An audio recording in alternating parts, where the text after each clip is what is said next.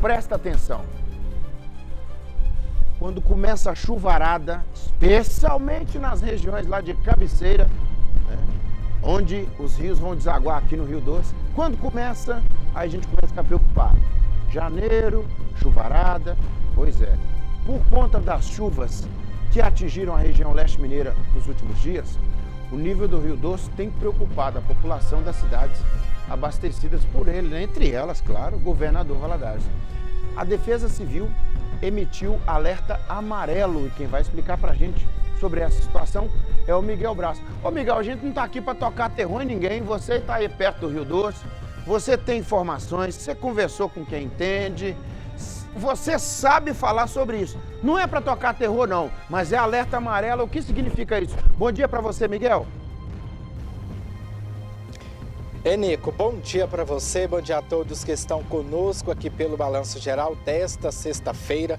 Não é para colocar terror em ninguém. Pois bem, a gente vai esclarecer de forma bem breve o que significa o alerta amarelo. É um aviso, né, que é um aviso que indica que podem ocorrer situações meteorológicas potencialmente perigosas, ou seja, as chuvas podem ser mais volumosas e com isso causar alagamentos, quedas de árvores e, e, o, e a interrupção no abastecimento de energia, por exemplo. E por falar em Rio Doce, hoje quem está comigo é o repórter cinematográfico Wellington Cunha. Eu vou pedir para ele mostrar rapidinho como está a situação do Rio Doce neste momento, está cheio e a última medição feita pela Régua do SAI, que é o Serviço de Abastecimento de Água e Esgoto aqui de Governador Valadares, apontou que o nível do Rio Doce é de 2 metros e 5. Conforme a Defesa Civil Municipal, a previsão é que o nível do Rio Doce chegue próximo à cota de inundação e estabilize. A cota de inundação é quantos? 2 metros e 15, que é a cota de inundação. Mas neste momento, o nível do Rio Doce é de 2 metros e 5.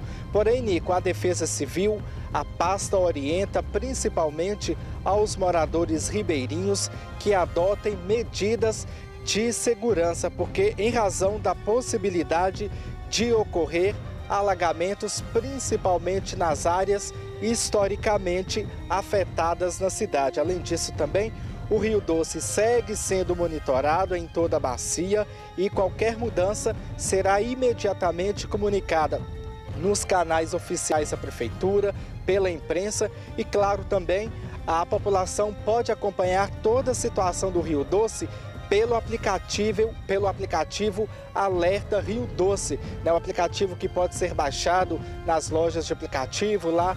As pessoas conseguem acompanhar todo o histórico, previsão de chuvas, o nível do rio em tempo real e outras informações. E por fim, em caso de emergência, a pessoa pode entrar em contato com a Defesa Civil pelo 199, que, a, que as equipes municipais estão a postos para atender qualquer tipo de ocorrência. E só para finalizar, Nico, o site Clima Tempo diz que a previsão do tempo para este sábado e domingo em Governador Valadares é de sol com muitas nuvens durante o dia, períodos de nublado e com chuvas a qualquer momento. Então, só reforçando, neste momento, o nível do Rio Doce em Governador Valadares é de 2 metros e 5. Eu volto com você, Nico. Obrigado, Miguel. Lembrando que a cota de inundação, como você informou, de acordo com a Defesa Civil, é a partir de 2,15, né? Miguel, é, dizer para a população ribeirinha, especialmente, né, que o motivo aqui não é tocar terror em ninguém, né? Não diga que o Nicomedes falou que vai ter enchente, muito menos o Miguel. Ele está trazendo a informação da Defesa Civil com bastante responsabilidade. E quero parabenizá-lo, viu, Miguel? Você e o Elton Cunha, porque eu sei o desafio que é estar aí onde você está e, e o Cunha com todo esforço aí para manusear a câmera e para mostrar para a gente é, o Rio Doce, para a gente ter um pouco dessa sensação aqui mais aproximada é, do risco que se tem de talvez uma inundação. Obrigado a vocês e parabéns pelo profissionalismo. Tá?